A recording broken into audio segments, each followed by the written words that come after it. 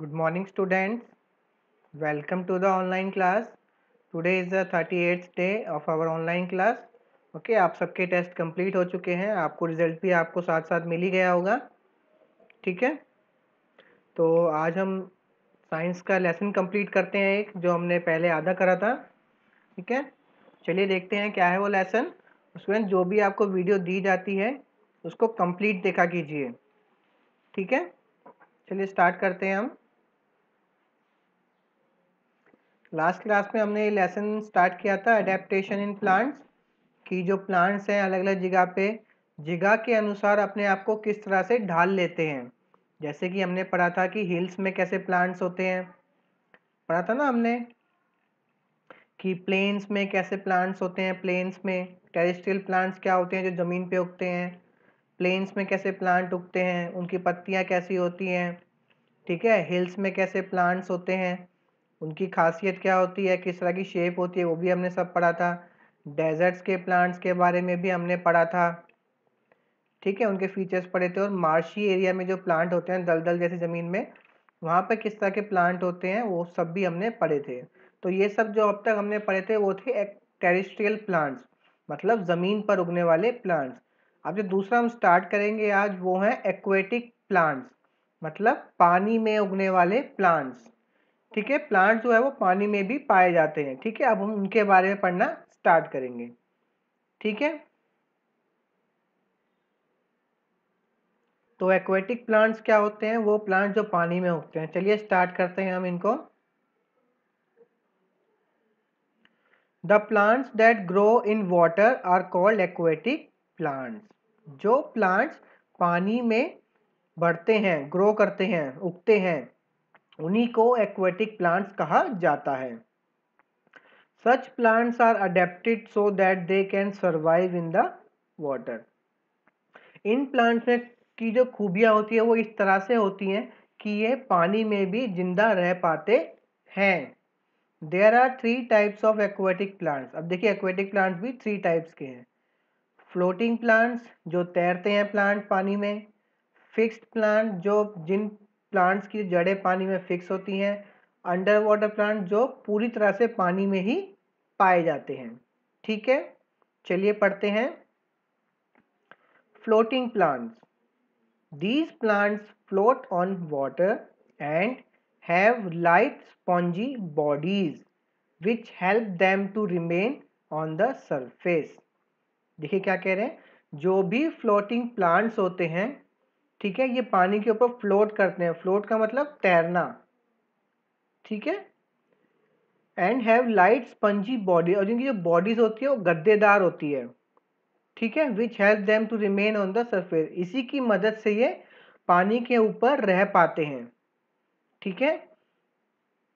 जो प्लांट्स होते हैं, ये वाले पानी पे ऊपर तैरते हैं। इनकी जो बॉडी होती है मतलब स्टेम हो गई, जो लीव्स हो गई, वो स्पंजी होती है मतलब गद्देदार होती है। ठीक है, जैसे स्पंज होता है ना, स्पंज आपने देखा होगा, उसको दबा सकते हैं, उसके अंदर पानी होता है एयर होती है, उसी तरह से। ठीक है, इसी के कारण ये पानी के ऊपर रह पाते हैं। देखिए इसके एग्ज़ाम्पल क्या क्या है duckweed water lettuce and water hyacinths are the examples of floating water ठीक है, ये फ्लोटिंग वाटर के एग्जाम्पल्स हैं तीन। आगे देखिए फिक्स प्लांट्स और फिक्स प्लांट्स कैसे होते हैं? These plants are fixed to the bottom of the pond, but their leaves float on the water. अब जो फिक्स्ड प्लांट्स होते हैं, इनकी जो जड़ें होती हैं, वो तो पानी में नीचे ज़मीन में गड़ी होती है। लेकिन उनकी जो लीव्स होती है फ्लावर्स होते हैं, वो पानी में ऊपर तैरते हैं। ठीक है? आए समझ में? जो फिक्स प्लांट्स होते हैं, इनकी जड़ें जो होती हैं, वो तो पानी के नीचे ज़मीन में फिक्स होती हैं। जैसे कि ज़मीन पे प्लांट होते हैं, लेकिन जो उनके पत्ते होते हैं, फूल होते हैं, वो ऊपर पानी में तैरते हैं। ठीक है? They have hollow stems filled with air उनकी जो स्टेम होती है, तनो होती है होलो होलो मतलब खोखली होती है, और उसमें हवा भरी होती है, जिसकी वजह से तैर पाते हैं।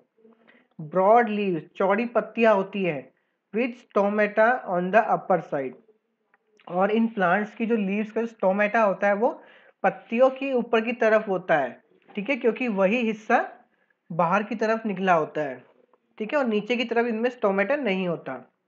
इसके एग्ज़ाम्पल क्या क्या हैं? लोटस वाटर लिली इसके एग्ज़ाम्पल हैं, ठीक है? आपने देखा होगा लोटस को पानी के ऊपर तैरते हुए, लेकिन उसकी जड़ें होती हैं, वो नीचे ज़मीन में फिक्स होती हैं। अब देखिए अंडर वाटर प्लांट्स अब पानी के अंदर के जो प्लांट्स होते हैं, ठीक है? These plants remain completely submerge in water they have narrow and thin leaves and flexible stems that offer little resistance to water currents ठीक है, अब जो अंडर वाटर प्लांट्स होते हैं, ये प्लांट्स कैसे होते हैं? ये पूरी तरह से पानी के अंदर ही पाए जाते हैं। जैसे कि जो फ्लोटिंग प्लांट्स हमने पढ़े, वो पानी की सतह पे पाए जाते हैं। फिक्स प्लांट्स पढ़े, वो ज़मीन से नीचे गड़े होते हैं, लेकिन होते पानी के ऊपर हैं। अब जो अंडर वाटर होते हैं, पूरी तरह से पानी में डूबे रहते हैं। ठीक है? उनकी जो पत्तियाँ होती है बहुत पतली होती है और बहुत ही फ्लेक्सिबल होती है। ठीक है? जैसे पानी इनके ऊपर पड़ता है तो ये भी हिलती रहती है उनके साथ। ठीक है?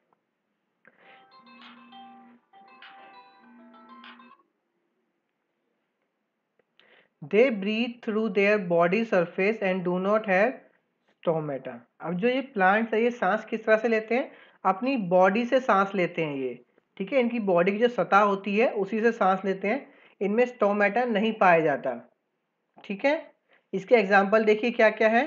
हाइड्रीला एंड वेलिसनेरिया वेलिसनेरिया का दूसरा नाम क्या है? टेप ग्रास ये एग्ज़ाम्पल है अंडर वाटर प्लांट्स के।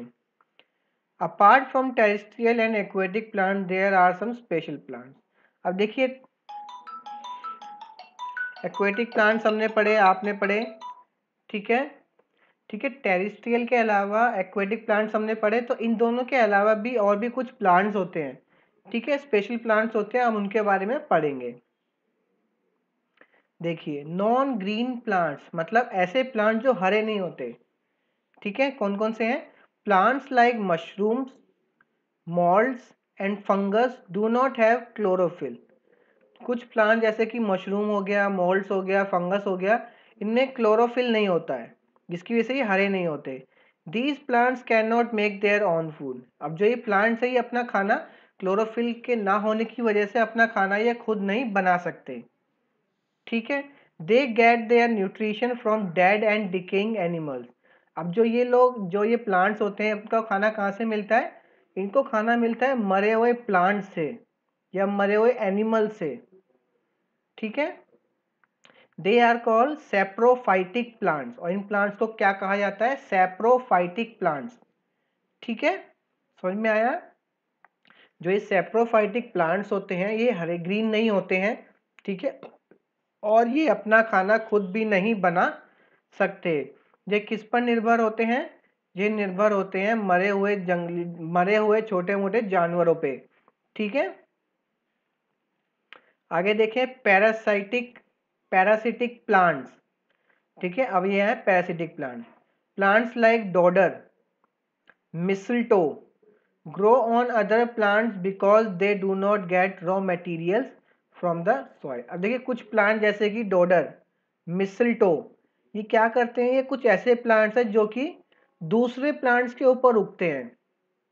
क्योंकि इनमें इतनी क्षमता नहीं होती कि ज़मीन में से अपने लिए पोषण ले सके।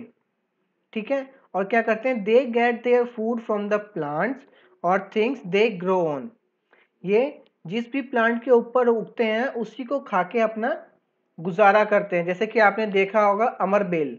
आपने सुना भी होगा अमरबेल के बारे में।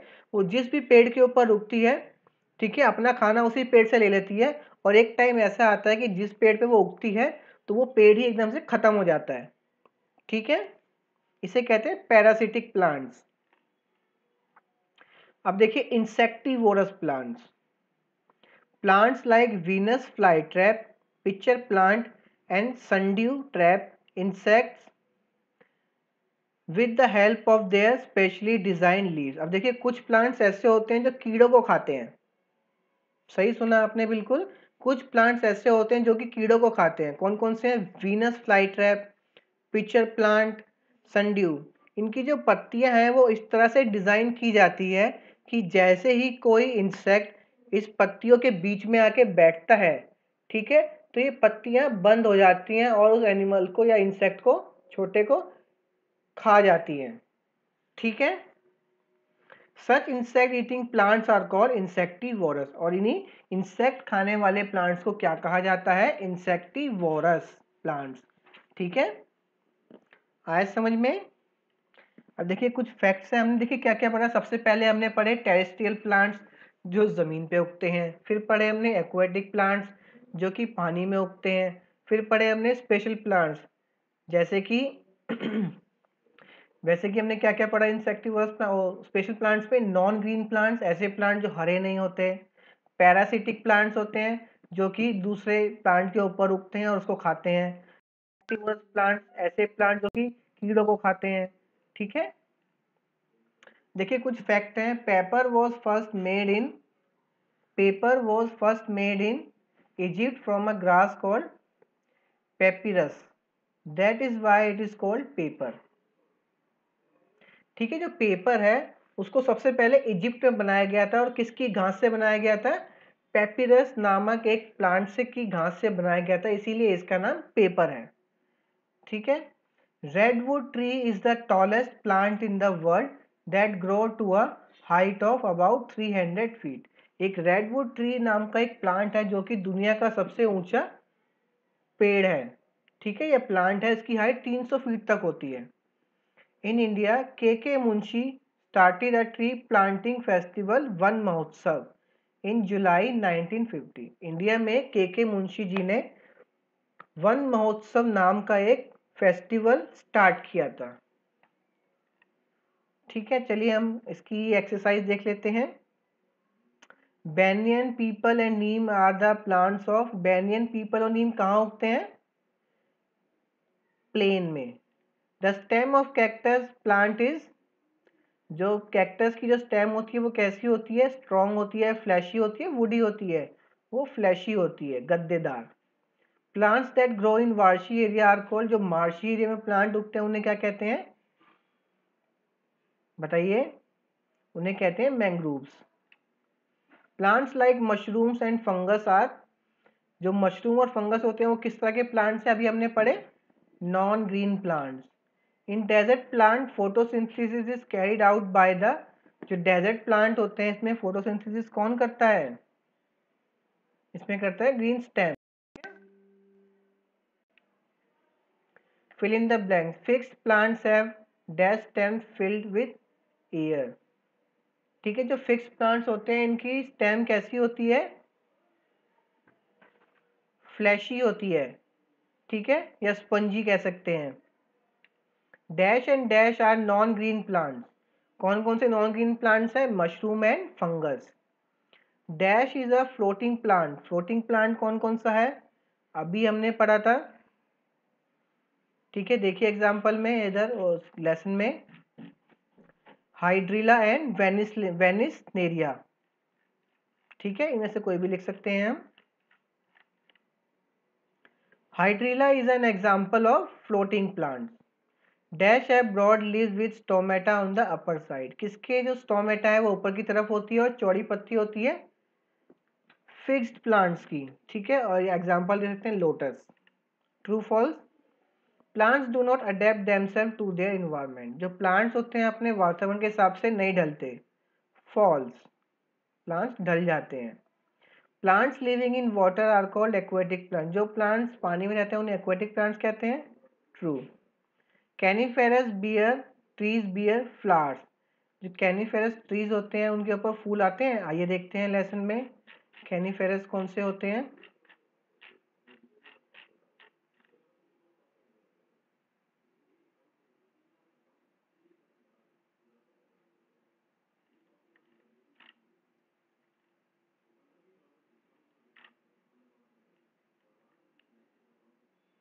यह है कैनीफेरस प्लांट।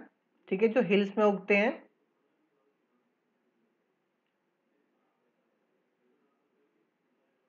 देखिए, इस पे लिखा है they do not have flowers तो कैनीफेरस जो प्लांट्स होते हैं, इनमें फ्लावर नहीं होते हैं।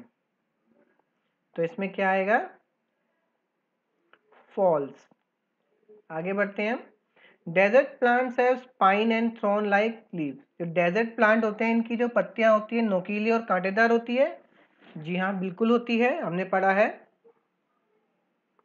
आगे चलते हैं। Marshy place have sticky and clayey soil जो मार्शी प्लेसेस होती है, उसके ऊपर चिपचिपी और क्लेई सॉइल होती है। बिल्कुल हाँ। देखिए, मैच करते हैं। फ़र्स्ट पिक्चर किसकी है? इंसेक्टिवोरस प्लांट है ना ये? तो ये इससे मैच हो जाएगा। सेकंड है, मशरूम। तो मशरूम किस तरह का प्लांट है? Non green plant. उसके बाद ये कैसा है? ये है मार्शी। देखो, पानी वाली ज़मीन में उगा हुआ प्लांट है तो ये कैसा है? मार्शी। उसके बाद है ये लोटस लोटस कैसा है? फिक्स्ड प्लांट है ये लोटस हमने पढ़ा है अभी। उसके बाद लास्ट देखिए, ये पैरासाइट है, एक मेन प्लांट है ग्रीन ग्रीन उसके ऊपर ये बेल सी चढ़ गई है, ठीक है इसको खा जाएगी। इसको हम बाद में देखेंगे। ठीक है?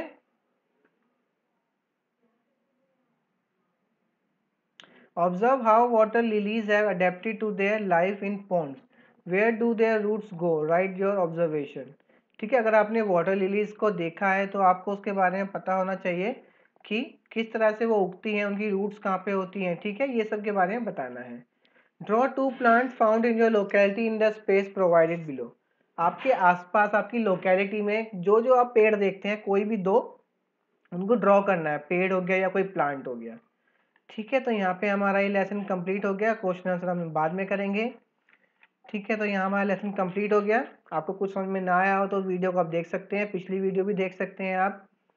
ठीक है, उसका लिंक आपको ऊपर मिल जाएगा। ठीक है, पिछली वीडियो का। आप उसको देख सकते हैं ताकि आप पूरा लेसन एक साथ कंप्लीट कर सकें। और वीडियो को पूरा देखिए, अच्छी तरीके से देखिए ताकि आपको अच्छे से समझ में आए।